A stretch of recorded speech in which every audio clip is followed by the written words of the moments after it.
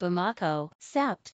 The Army's Operation Maliko patrol team reacted energetically to the ambush set up by an armed terrorist group on Sunday around 11:45 a.m. The statement said, adding that five vehicles belonging to the army were also burned during the attack.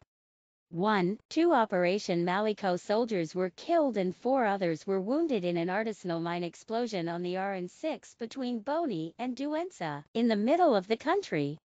The separatist insurgencies, then the jihadist incursions, as well as the intercommunal violence, left thousands of people dead and hundreds of thousands of others displaced despite the presence of the UN, French and European forces.